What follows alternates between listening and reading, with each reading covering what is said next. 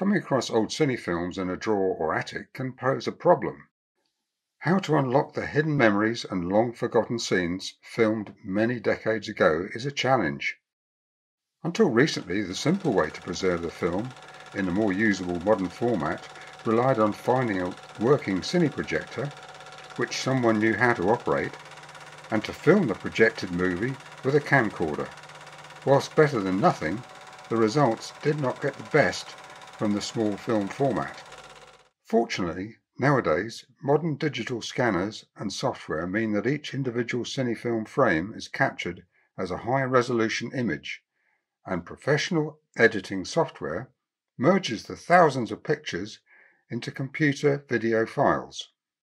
Final adjustments can be made to restore colors, sharpness, and even reduce camera shake where appropriate. The finished result can be output into DVD or Blu-ray discs or in formats for uploading to social media such as YouTube.